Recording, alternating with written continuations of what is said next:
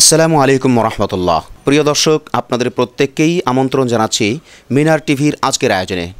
বন্ধুরা, আজ আমরা কথা বলব কোরবানির পশুর বিতর্কিত নাম এ বিষয়ে এবং আমাদের কোরবানিরগুলির ভিতরে কীভাবে শিরিক ঢুকে যায়। গরুর নাম হয়েছে সুলতান, গরুর নাম রাখা হয়েছে আপনার চেয়ারম্যান, গরুর নাম রাখা হয়েছে টাইটানিক, গরুর নাম রাখা হয়েছে বস, গরুর নাম রাখা হয়েছে রাজাবাবু, ভাগ্যরাজ, বিভিন্ন নাম, বস সিনিয়র, জুনিয়রও আছে। তো আশ্চর্য ব্যাপার হলো এই যে এই নামগুলি এই নামগুলি মানে নর্মালি যদি কেউ রাখে আর নর্মালি কেউ ই করে হাসি তামাশা করে, এটা আমরা খুব একটা সমস্যা মনে করি না। কিন্তু সমস্যার যেটা হলো সেটা হলো এবার একটা গরুর নাম আপনি শুনে থাকবেন, গরুর নাম রাখা হয়েছে হামজা নাহউজবিল্লা আস্তাগফিরুল্লাহ। অথচ আপনারা জেনে থাকবেন যে হামজা রদি আল্লাহ তাল আনহু রসুল সাল্লাহ আলহি আসাল্লামের আমাদের প্রিয় নবী মহানবী সাল্লাহ সাল্লামের আপন চাচা এবং তিনি একজন প্রসিদ্ধ সাহাবি এবং এই সাহাবির মান অনেক অনেক উপরে।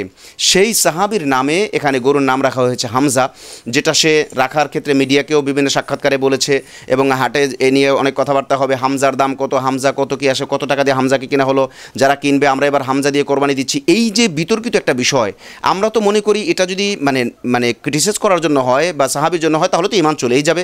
এটা মনে করার কিছু নেই, এটাই মাস আলা বাকি যদি মানে নবীর চাচার সাথে বা সাহাবির নামের সাথে নাম না, মিল না রেখে বা মুসলমানের কোনো নামের সাথে মিল রাখে এমনিতে রাখা হয়েছে। তো মুসলমান এমনিতেই কীভাবে এই কাজগুলি করে? এটা কীভাবে সম্ভব? তারপরেও আমরা যদি ধরি এমনিতেও তারপরেও তো এই কোরবানির গরু কেনা জায়েজ হবে না এবং এই হামজা নামটা নামটার অবমাননা হয় এজন্য সকলেই শিক্ষামূলক এই এই গরুকে এড়াইয়া যাওয়া যাতে করে আহ, এইরকম কাজ আর কেউ না করে। এমনকি এই আলোচনা যদি সেই গরুওয়ালার কাছে মানে সেই খামারির কাছে পৌঁছে তাহলে তাদের উচিত হবে তওবা করে ফিরে আসা নাম পরিবর্তন করা। নর্মালি অন্যান্য নাম যেগুলি আছে টাইটানিক বা ভাগ্যরাজ বা ভাগ্যরাজও তো সমস্যা। ভাগ্যরাজ বলতে এখানে বলা হয়েছে মানে ভাগ্যর দিকে নির্দিষ্ট করে, অথচ ভাগ্য আল্লাহ নির্ধারণ করে, এখানে গরুর নাম ভাগ্যরাজ। তো এই যে বিতর্কিত নাম, এই নামগুলির দ্বারা আমাদের আমল তো মানে তাকোয়ার খেলাফ তো হবেই, আমাদের আমল বরবাদ হয়ে যাবে, এমনকি আমাদের কোরবানিও বরবাদ হয়ে যেতে পারে। এজন্য আজকের আলোচনার প্রথম অংশ থেকে মানে তিনটা বিষয়ের প্রথম বিষয়টা হলো এই যে কোরবানির গরুর বিতর্কিত নাম যেগুলি রয়েছে, এই নামগুলি থেকে আমরা পরহেজ করব, এই নামের গরু আমরা কিনবো না বা এই নামের গরুর কাছে আমরা যাব না।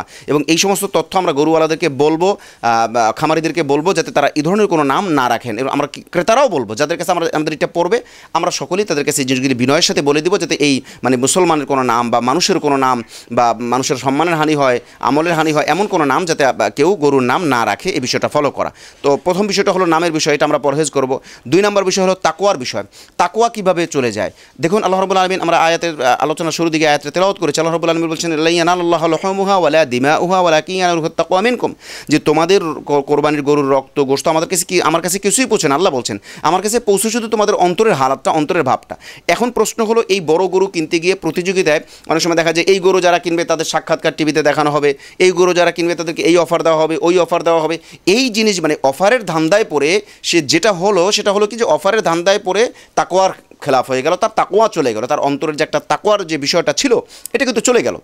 এই ক্ষেত্রে আমরা মানে বড় গরু কেনার মানে বড় গরু কিনবো, আমাদের সাধ্য অনুযায়ী বড়, সর্বোচ্চ বড় গরু কেনার চেষ্টা করব, অর্থাৎ সাধ্যের মধ্যে সর্বোচ্চ বড় যেটা করা যায় সেটা করব। কিন্তু কোনো অবস্থাতে আমরা যেন তাকোয়ার পরিপন্থী কোনো কাজের মধ্যে না পড়ে যাই। এক নাম্বারও তো আমরা বিতর্কিত নামগুলি এড়ায় চলবো। দুই নাম্বার বিষয় হলো আমরা কোনো অফারের ধান্দায় পড়ে আমরা যাতে আমাদের তাকোয়াগুলিকে বরবাদ না করে দিই। তিন নাম্বার আমরা যে বিষয়টা বলব সেটা হলো শিরিকের বিষয়টা। শিরিকের বিষয়, কোরবানির মধ্যে আবার শিরিক কীভাবে? হ্যাঁ শিরিক। মনে করেন একটা গরুর নাম হয়েছে সুলতান বা একটা গরুর নাম হয়েছে মনে করেন যে আপনার টাইটানিক মানে বড় একটা কোনো গরু। মেন করা হয়েছে, বড় নামের রাখা হয়েছে। তো এই বড় গরুটা কেনার জন্য প্রতিযোগিতা।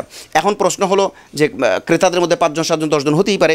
একজন ক্রেতা আসার পরে আরেকজন ক্রেতা যদি মনে করল, উনি এটা কিনতেছে, আমি যদি এর চেয়ে বড় না কিনে বা ওনার সামনে আমি যদি এটা না কিনতে পারি, তো আমার এটা মান সম্মান থাকে না। এরকম একটা পর্যায়ে দাঁড়ায় যায়। পরিচিতের মধ্যে যদি হয় চেয়ারম্যান সাহেব গেছে, পার্শ্ববর্তী এক্স চেয়ারম্যান যদি থাকে, তো দুই চেয়ারম্যান এরকম হয় এমপি সাহেব গেছে, পার্শ্ববর্তী তারা এমপি সাহেব, এরকম হতেই পারে। অবস্থাভেদে হতেই পারে। তো তখনই গিয়ে হবে কি যে আপনার আমি মানে এটা না কিনলে আমার মান সম্মানটা থাকে না মানে বরত্ব একটা ব্যাপার। কোরবানির গরুর কেনার মধ্যে বা দেখার মধ্যে যদি বরত্ব বিষয়টা ঢুকে যায়, আপনি শিরিক করলেন। কারণ তখন আর আল্লাহর জন্য কোরবানি থাকল না, তখন আল্লাহর জন্য কোরবানি হলো, সাথে সাথে বরত্ব ঢুকে গেল।